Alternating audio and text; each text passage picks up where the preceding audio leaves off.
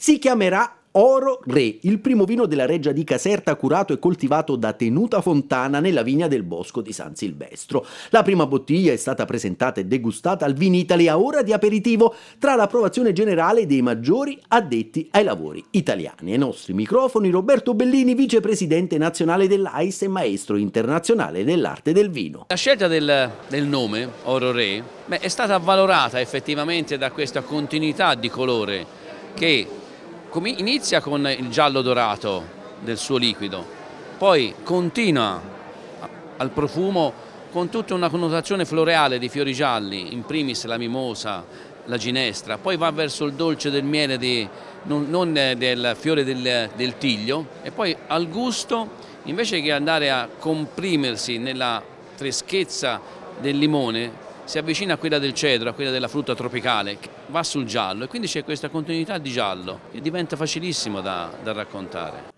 La Reggia di Caserta, con la nascita di Ororea, ha sottolineato il sottosegretario di Stato per la Cultura Lucia Borgonzoni, è antesignana di una strada che pian piano altri luoghi di cultura stanno percorrendo, quella di ritrovare, di ritornare alle coltivazioni situate all'interno di siti archeologici e storici. Ascoltiamo. Cosa bellissima soprattutto perché va a raccontare ancora di più i nostri territori e quei luoghi, per cui li riporta alle origini.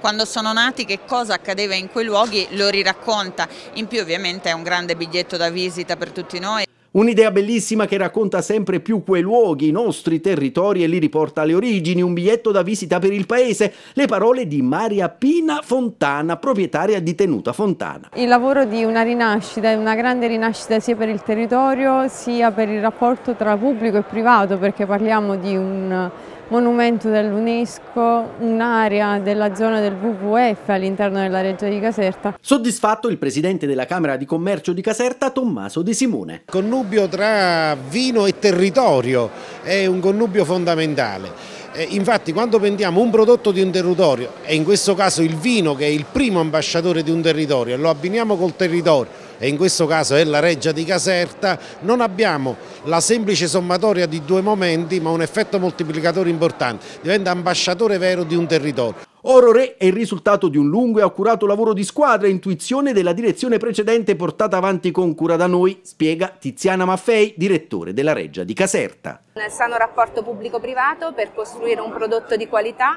dopo tanto lavoro e soprattutto con l'idea di recuperare l'identità di questo luogo.